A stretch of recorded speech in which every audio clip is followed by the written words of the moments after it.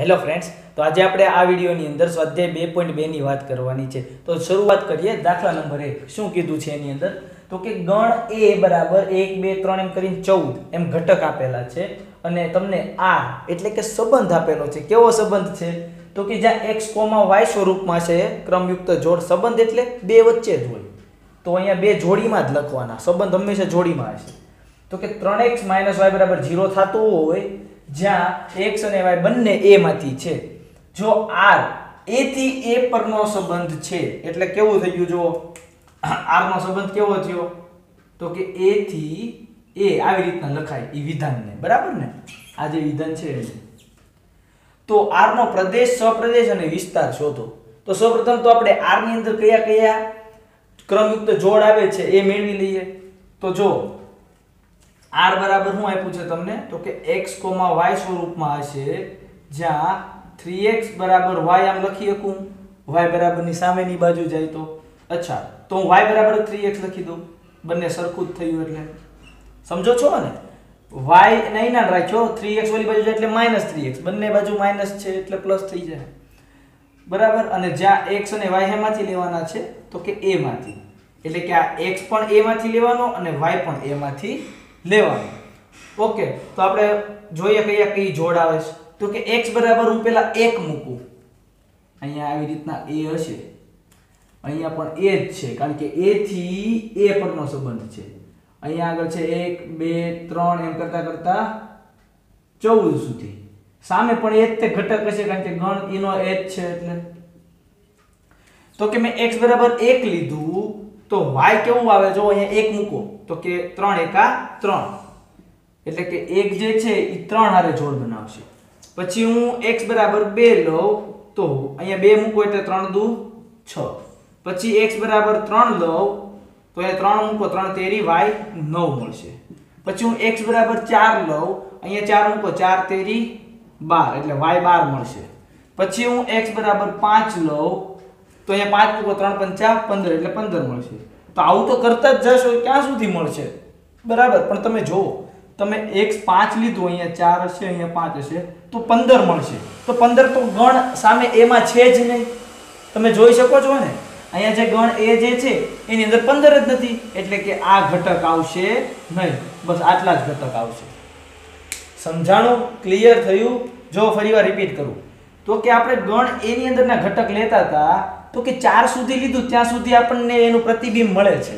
પછી પાંચ લેવાય ગયા, તો આ ગણની બહારની કોઈ સંખ્યા 15 આવી જાય છે. તો એની પછીના કંઈ જોડી બનશે જ નહીં. એટલું જ તે સંબંધવાળી જોડી બની. બરાબર ને? તો હવે એને શું પૂછ્યું છે? પ્રદેશ, સપ્રદેશ અને વિસ્તાર.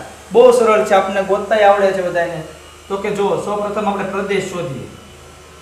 તો કે પ્રદેશ કોને કહેવાય? યાદ કરો તો કે પ્રદેશ એને કહેવાય કે જેનું પ્રતિબિંબ આ પેલા ગણમાંથી મળતું હોય, તો કે એકનું પ્રતિબિંબ મળ્યું જોવે. મતલબ કે આ પેલો પેલો જ તે ઘટક. જે સંબંધની અંદરનો પેલો પેલો ઘટક. એકનું પ્રતિબિંબ મળે છે, બેનું મળે છે, ત્રણનું મળે છે અને ચારનું મળે છે. તો એ જવાબ. પછી, તો કે સપ્રદેશ એ તો સૌથી હેલ્લામાં હેલ્લું છે. તો કે શું થાય? તો કે આખો, અહીંયા જે આખો ગણ હોય એનો એ. તો અહીંયા તો એ ગણ જ છે. તો એ આખો સમજો છો ને? પછી એની અંદર જે હોય આખો ગણ આવી જાય. સપ્રદેશ એટલે અહીંયા જે ગણ હોય એ લખી દેવાનું. સિમ્પલ વિસ્તાર એટલે તો કે જે કોઈનું પ્રતિબિંબ હોય, એટલે કે એકનું પ્રતિબિંબ ત્રણ છે, બેનું છ છે, એટલે આ બધા જે પ્રતિબિંબ કહેવાય બધા. એટલે કે બીજો ઘટક ત્રણ, છ, નવ, બાર. ત્રણ, છ, નવ અને બાર. આ થઈ ગયું તમારું પ્રદેશ સપ્રદેશ અને વિસ્તાર. આ રીતના દાખલા સોલ્વ કરવાના છે. બહુ સરળ છે. હવે બીજો દાખલો જુઓ. તો કે સંબંધ આપ્યો છે એક્સ કોમા વાય જ્યાં. અહીંયા હતું થ્રી એક્સ માઇનસ વાય બરાબર ઝીરો અહીંયા આગળ છે વાય બરાબર x plus five okay x એ ચારથી નાની પ્રાકૃતિક સંખ્યા છે. કન્ડિશન શું છે સંબંધમાં?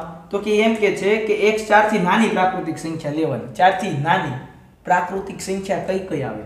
તો કે એક, બે અને ત્રણ. ચાર નહીં લેવાનું. એને ચારથી નાની કીધી છે, એટલે આ ત્રણ સંખ્યા આવી. એટલે કે એક્સ આપણે આ ત્રણ લેવાના છે. કારણ કે અહીંયા કીધું છે એક્સ એ ચારથી નાની પ્રાકૃતિક છે. અને એક્સ અને વાય એમાંથી છે? જો ખાસ. એનની અંદરથી છે. એક્સ અને વાય એનમાંથી માંથી છે. તો અહીંયા તમે જોયું હતું, એક્સ અને વાય એ માંથી હતું. એની બદલે અહીંયા એન છે. તો સંબંધ કેવો બનશે? r નો. તો કે એનથી એન. સમજ્યા? કારણ કે એક્સ અને વાય એમાંથી છે? એનમાંથી. થાય તે રીતે સંબંધ n પર વ્યાખ્યાયિત છે, એનો મતલબ આ થયો. તો r ને યાદીની રીતે લખો. યાદીની રીતે જેમાં ઘટક દેખાતા હોય આરનો પ્રદેશ અને વિસ્તાર શોધો. એ તો પછી વાત થઈ. પહેલા આપણે r શોધી લઈએ. તો કે r ની અંદરનો શું કીધું છે? તો કે x અને y લ્યો તમે. જ્યાં x 4 થી નાની પ્રાકૃતિક સંખ્યા છે, તો સૌપ્રથમ હું 1 લો તો એનું મને પ્રતિબિંબ શું મળે છે? તો કે અહીંયા 1 મૂકો તો. 1 5 6 હવે હું એક્સ બરાબર બે લઉં. બરાબર? તો અહીંયા બે મૂકો. સાત.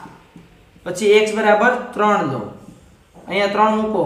8 4 તો લેવાનું નથી, કારણ કે ચારથી નાની પ્રકૃતિ કીધી. ગણ પૂરો.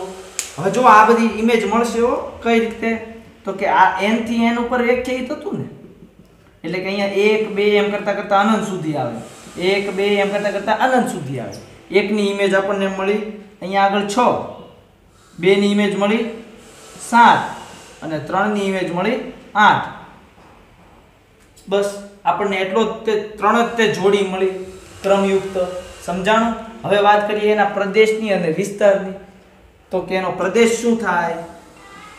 તો કે જે ગણ સંબંધનો મળ્યો એનો પ્રથમ પ્રથમ ઘટક, એક, બે, ત્રણ. વિસ્તાર શું થાય?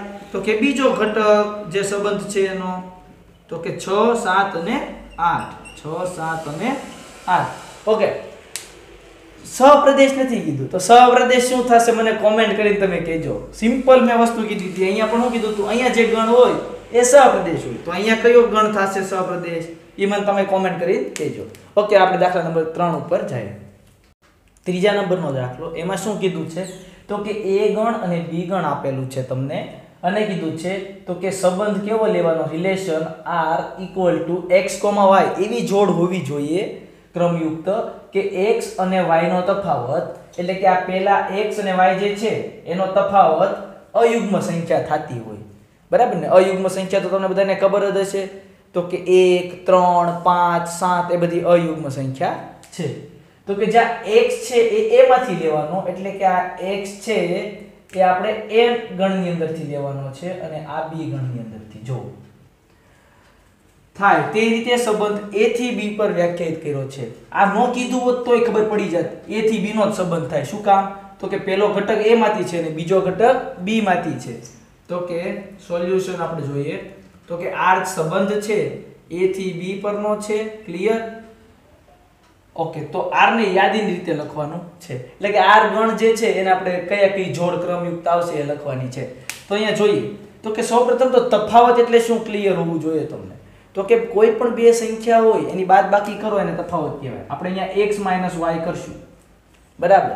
અને જે ઘટક મળે, જે સંખ્યા મળે, એ કેવી હોવી જોઈએ? અયુગ્મ સંખ્યા. અયુગ્મ સંખ્યા મળતી હોય તો એ આપણે બધી જોડ લેશું.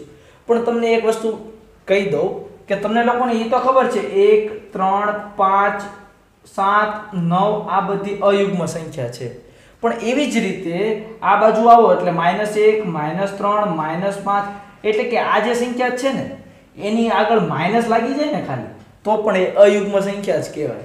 એ વસ્તુ ક્લિયર હોવી જોઈએ. હવે આપણે અહીંયા જોઈએ. તો કે આરની અંદર કેવી કેવી જોડ આવશે? તો કે હું ગણ એનો પેલો એક્સ લઉં છું આ.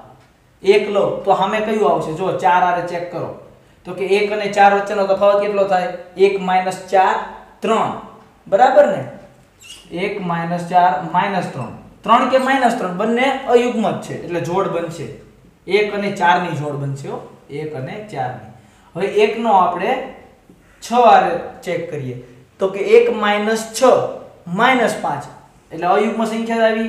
તો એક અને છ ની પણ જોડ આવશે. એક અને નવની વચ્ચે ચેક કરો. તો કે એક માઇનસ નવ, માઇનસ આઠ. તો યુગ્મ સંખ્યા થઈ. એટલે એક ને આઠની જોડ એક ને નવની જોડ બનશે નહીં. બે નો વાળો. બે માઇનસ ચાર, માઇનસ બે. યુગ્મ સંખ્યા થઈ. બે માઇનસ છ. બે માઇનસ છ, માઇનસ ચાર. યુગ્મ સંખ્યા થઈ. નહીં બને જોડ. બે નવ. બે માઇનસ નવ, માઇનસ સાત. અયુગ્મ થઈ, એટલે બે અને નવની જોડ બનશે. એવી રીતના ત્રણનો વારો ત્રણ માઇનસ ચાર માઇનસ એક જોડ બનશે. કારણ કે માઇનસ એક કેવી છે? અયુગ્મ સંખ્યા. ત્રણ માઇનસ છ માઇનસ ત્રણ. એ પણ જોડ આવશે, બરાબર ને? માઇનસ ત્રણ અયુગ્મ છે. પાંચનો વાર સોરી ત્રણ અને નવનો. આવશે જોડ શું કામ? ત્રણ માઇનસ નવ કરો તો કેટલા થાય? તો કે સાત. એ પણ જોડ આવી.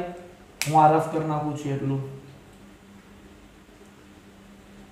હવે પાંચનો વારો. તો કે પાંચમાંથી ચાર જાય એટલે એક. બરાબર ને? એટલે એ પણ અયુગ્મ થઈ. પાંચ અને ચારની જોડ આવશે. પાંચ અને છ ની પણ આવશે. પાંચ અને છ ની પણ જોડ આવશે. એમાં પણ તફાવત એકનો થાય.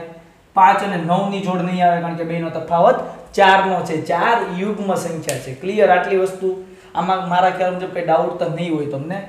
ઓકે, તો યાદીની રીતે લખવાનું કીધું? આપણે લખ્યું. હવે હું મારી રીતે એક પ્રશ્ન એડ કરું છું. આનો તમારે મને પ્રદેશ, સવિસ્તાર અને વિસ્તાર કોમેન્ટ કરીને કહેવાનું છે. જોઉં છું કેટલા વિદ્યાર્થીઓને આવડે છે કે કેટલાને નહીં. ડન ઓકે દાખલા નંબર આપણે હવે ચોથો જોઈએ. તો કે અહીંયા શું કીધું છે? કે આકૃતિમાં પી થી ક્યુનો સંબંધ દર્શાવેલ છે. દેખાય છે. પેલો પી છે ને પછી ક્યુ છે. એટલે સંબંધ તો આવો જ થવાનો. R જ્યાં P થી Q નો સંબંધ છે.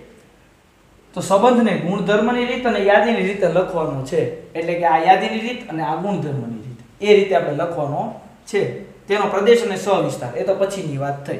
તો કે આને આપણે સૌપ્રથમ ચેક કરીએ કે અહીંયા કે રિલેશન શું બને છે? પાંચનું પ્રતિબિંબ ત્રણ આવે છે. તો પાંચ ક્યારે ત્રણ થાય? તો કે વિચારો તો પાંચમાંથી બે ઓછા કરો એટલે કેટલા થાય? પાંચ ઓછા બે કરો એટલે ત્રણ થાય છે. હા, બરાબર. છ તો ચાર. તો છ માંથી પણ બે બાદ કરું તો જ ચાર થાય છે. સાત ને પાંચ. તો સાતમાંથી નહીં, બે બાદ કરું તો જ પાંચ થાય છે. તો સંબંધ કેવો થયો? તો કે ગણ પી જે છે, બરાબર? ગણ પીના ઘટક એક્સ હોય, ગણ પીના ઘટક એક્સ હોય, તો વાયના ઘટક કેવા થાય છે? તો કે વાયના ઘટક એક્સમાં ઘટકમાં બે ઓછા. જો, તો કે આ વાય છે અને આ એક્સ ઓછા બે છે. આ બંને એક જ સ્વયં થયું વાયને મેં આ બાજુ લખ્યું ને આને પેલી બાજુ તો કે આવો સંબંધ થયો ને? સમજા, જો ફરી વાર કહું. પાંચ લો અહીંયા એક્સ, એમાંથી તમે બે બાદ કરી દો તો તમને વાય મળી જાય છે. ક્લિયર તો અહીંયા લખીએ આપણે ગુણધર્મની રીતે. તો કે એક્સ કોમા વાય જ્યાં x માઇનસ બે બરાબર y. X minus y minus બે બરાબર વાય. જ્યાં એક્સ કેમાંથી છે? પીમાંથી માંથી છે. અને આ એક્સ જે છે એ પીમાંથી માંથી છે ને? અને વાય છે એ ક્યુમાંથી માંથી છે. આ નહીં લખતા હો પેલા બુકની અંદર, આ તો ખાલી સમજાવવા લખું છું. અને વાય બિલોંગ્સ ટુ ક્યુ. આવું થયું? સમજાણું? ઓકે, હવે આપણે એને યાદીની રીતે લખીએ. એ તો બહુ સરળ છે, બહુ.